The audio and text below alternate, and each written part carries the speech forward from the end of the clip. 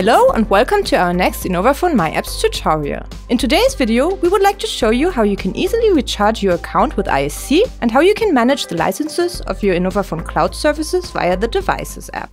The Innovaphone service credits, in short ISC, are the payment method for our Innovaphone cloud services and the rental models. These can be managed in the Devices app by the administrator. Just like any other product, you can go ahead and order the ISC via our Innovaphone price list. Once you ordered your ISC, you will receive an email from the distribution. Included in this email is an activation key. So go ahead and open the Devices app to charge or recharge your account with ISC. At the top left, you can select the domain that shall be credited. Click on Software Rental. You will see the current account balance of the domain and right next to the balance a button. Click on the button Charge Balance. Enter your activation key and click on Check. Please read the notes and click on Charge Account. In order to be able to use the PBX, specific licenses are required. Select the respective PBX from the drop-down menu and click on Add to Rent. You can flexibly choose and adjust the licenses as you please. You can activate only those licenses that are currently required.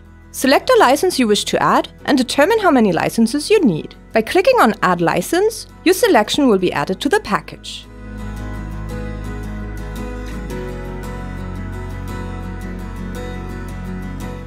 Once you're finished with selecting, click on Apply. Next, confirm the changes. You will now see your ISC account balance displayed to the second. You further see the current monthly costs, the current end date of the rental, and an overview of the acquired licenses listed under the respective PBX. Should you wish to make changes, please open the tab of the respective PBX and click on Configure Licenses.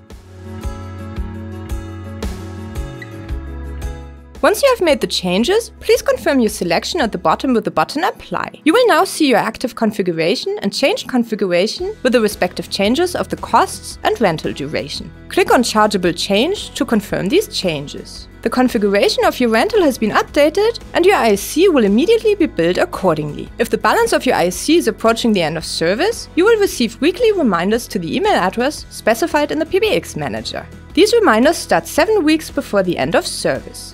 Alternatively, you can also use the automatic ISC reloading service, either in the portal My Innovaphone or with a service partner.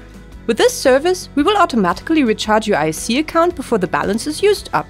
You determine the timing and the amount that is to be charged. Should you not have switched to MyApps Cloud services yet, watch our previous tutorials to learn more about the ordering process to get your individual business communication solution from the cloud. You can find all our video tutorials on our website, our YouTube channel, and in our tutorials app.